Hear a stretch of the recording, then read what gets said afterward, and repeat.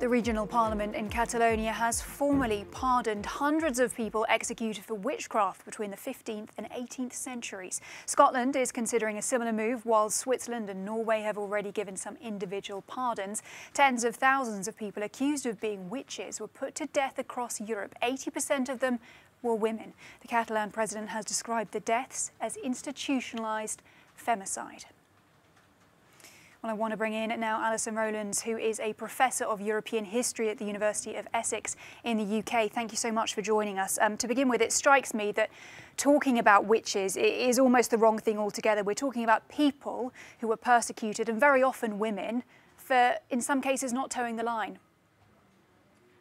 Definitely. The majority of those persecuted were women, 75 to 80%. Um, but it is worth just remembering that 20 to 25% were men, and that is, um, although a minority, I think quite a significant uh, minority. Um, I think what's really hard for us to grasp today is that the reason all of those people were prosecuted is very, very sadly because their communities and societies believed that they were witches.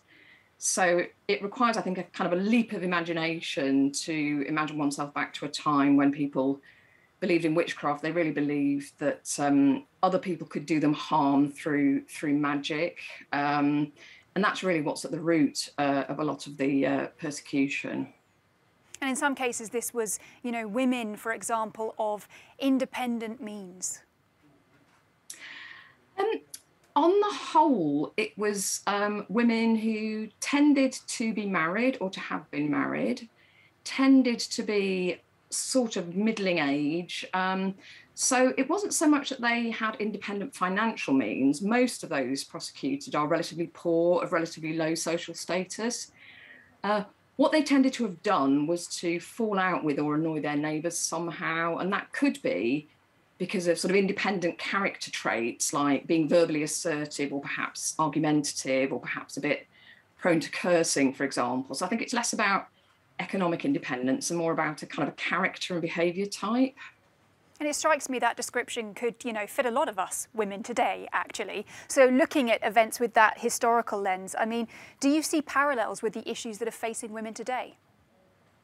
I think I think there are. I mean, I think there are some parallels that can be drawn. Um, although, as I said at the beginning, as a historian, I always try to understand the the period and the events to some extent on its own terms because I think otherwise we can misunderstand things. But I think there are definite parallels with with what's going on today. I think we're seeing um, gendered power dynamics which um, result in um, you know violence towards women, injustice towards women, um, and actually a disempowering of their voices. That's what I think so great about the um, efforts now to pardon, but also to sort of celebrate the lives of these women. Um, I think it would be great if um, audiences today could get to know them as individuals and know more about their life stories rather than just seeing them as victims of an injustice.